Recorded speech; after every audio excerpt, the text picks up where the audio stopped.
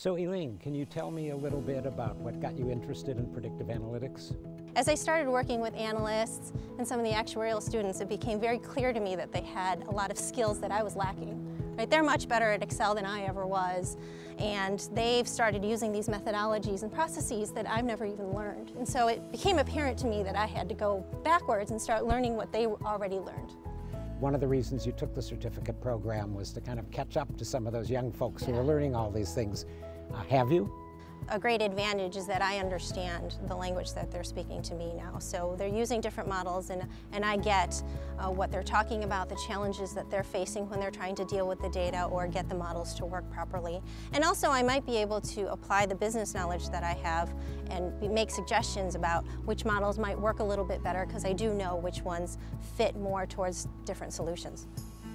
And in the work you're doing today, can you give us an example of an analytics project uh, where you brought those skills to bear? So my company right now is working with a lot of hospital systems and hospitals right now are faced with the challenge of providing high quality care to patients but at lower cost. And so a lot of them are looking at care management programs where can they offer a patient better care um, in a more efficient way. And so using predictive analytics to churn through their past patient data and look for ways to reduce cost, reduce wasteful um, care and services.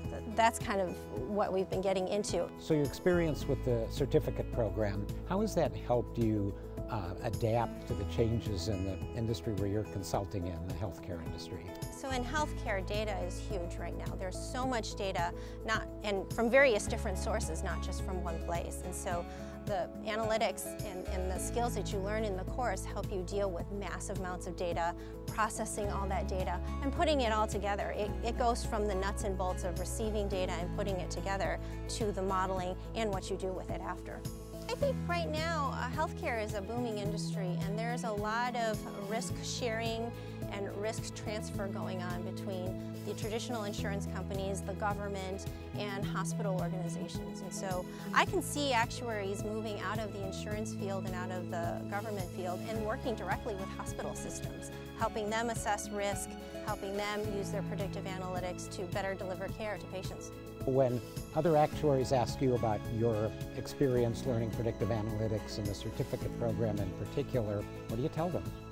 Well, I think this is a great time for actuaries. I think we have so much data in the world now, and we were used to dealing with uh, such a small slice of data. It's so robust, and to take advantage of the program and learn the skills necessary to be able to use all the data that's available to us, I think is really key.